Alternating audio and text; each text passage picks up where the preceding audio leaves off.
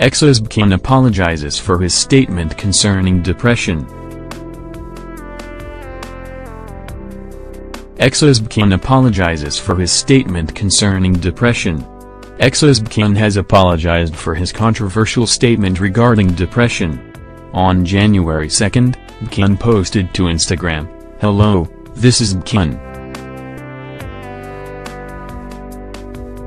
Him writing because I'd like to personally apologize for the statement I made at a fan signing on December 30th. To be honest, I've been afraid of depression lately, and I was in a hypersensitive state.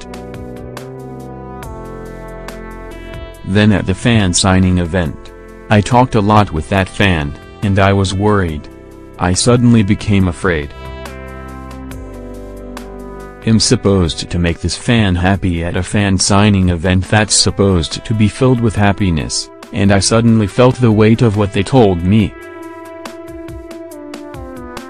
I think my heart was hasty at the thought that after my fan left that spot, I might not be able to speak with them again. I wanted to comfort them with at least one more word, so in that moment, I wanted to quickly say something because I felt like my words would be of help as they said they liked me. I think I was lost in that thought from after I stopped talking with that fan until the end of the fan signing. There were aspects where I spoke hastily because in that situation I wanted to let fans know that even if they were going through a depression or rough time, EXO and the people beside them were there for them. Even when I don't have the ability to arrange my thoughts in such a short time, I spoke too soon. I regret saying those things and choosing those words in that moment. I just wanted to comfort them and give them strength. As I'm writing this, I'm scared that I'll make another mistake. Still, I wanted to sincerely apologize.